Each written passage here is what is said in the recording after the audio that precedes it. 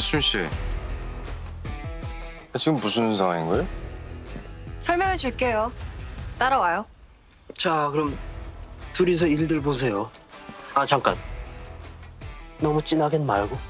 예? 아니, 황 시장님. 아, 아니, 가시죠.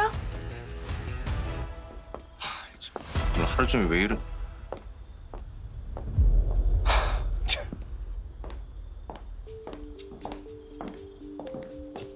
수민 씨.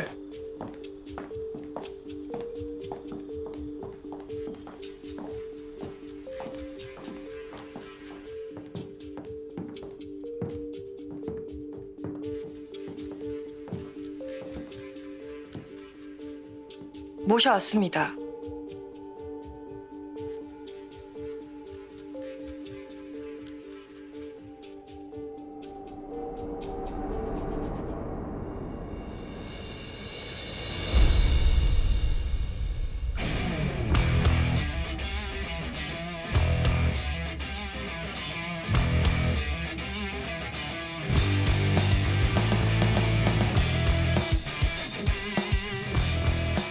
여기까지 오시느라 고생했습니다.